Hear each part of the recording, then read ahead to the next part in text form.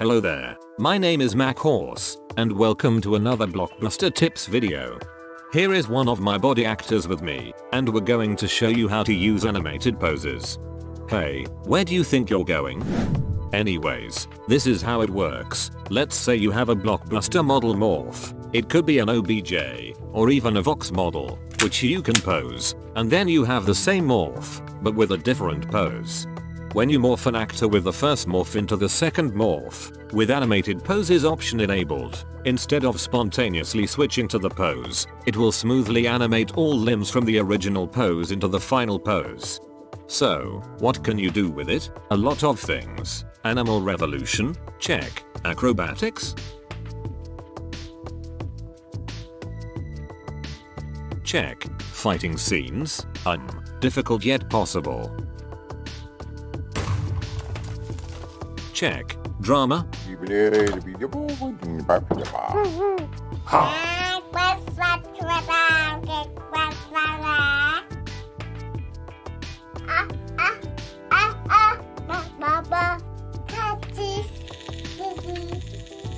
Haha, yes.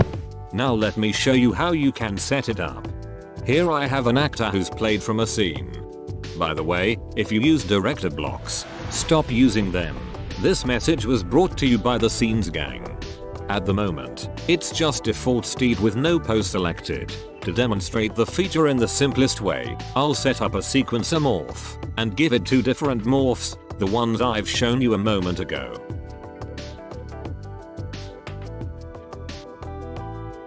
As you can see, these two are just rapidly switch. However, if we'll enable animates checkbox, this will activate the animated poses feature, and it'll smoothly animate the pose. At this moment, though, it animates only into one direction. We need to enable animates checkbox on the second morph as well. And here you have, those are the basics of animated poses. Beside animated checkbox, there are a couple of other options regarding animation. The duration field allows you to specify for how many ticks the pose animation will run for. There are 20 ticks per second.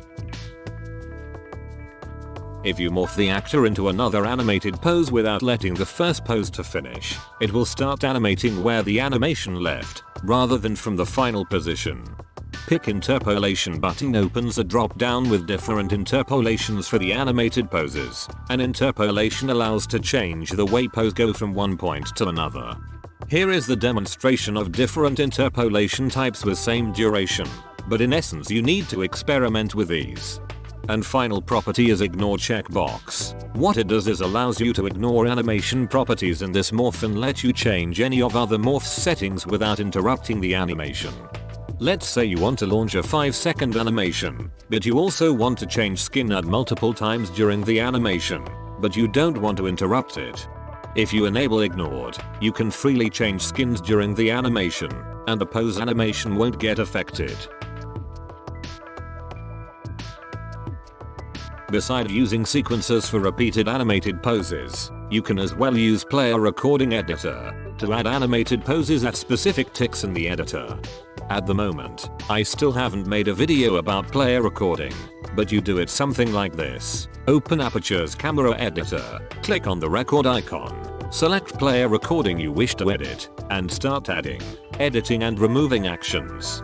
You can add new actions from the list of actions. Select any action in timeline and edit its data in the panel. Duplicate an action. Drag and drop the action to another tick, and remove them.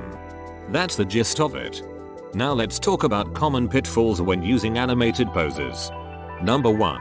When setting up sequences or editing a player recording, make sure to keep track of how much ticks it takes for animation to run, or otherwise it might end too soon and jittery.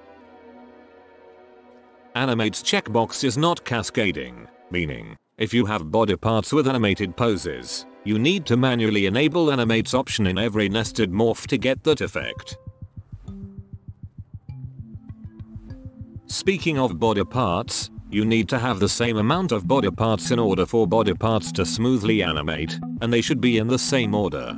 If you add a new morph, make sure to create an empty body part in the previous and consequent morph to guarantee the smoothness of animation.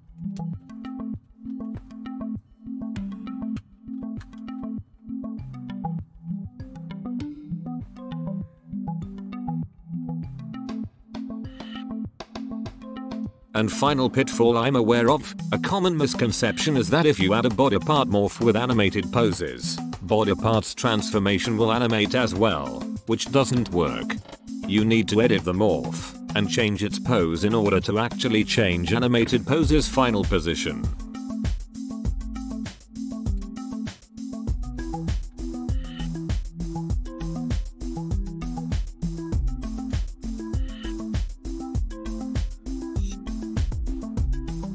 Those were the pitfalls. Now let's talk about other things worth mentioned before you start using this feature. Since Blockbuster 1.6.1 there was added a default model called Empty. It's a model with a single invisible limb, which can be used for animation of morphs that don't support animated poses. It's also useful for creating spinning things. The trick for creating seamless spinning animation is to create two morphs in a sequencer. First should have 0 ticks duration in both sequencer menu and edit morph menu, and animates checkbox disabled, while the second morphs should have animates checkbox enabled. Same amount of ticks for sequencer menu and edit morph menu, while having a pose that does a full circle, that is 360 degrees. This will seamlessly reset the pose to original value. Emoticons morphs also support animated poses in the same way as Blockbuster does, but without the ignore checkbox. Well, I hope this video has shown you how to use animated poses clear enough. This is a very simple to use, yet hard to master feature. Play around with different durations and interpolations and see how it works out. Thanks for watching, and close your social media apps when you want to be productive.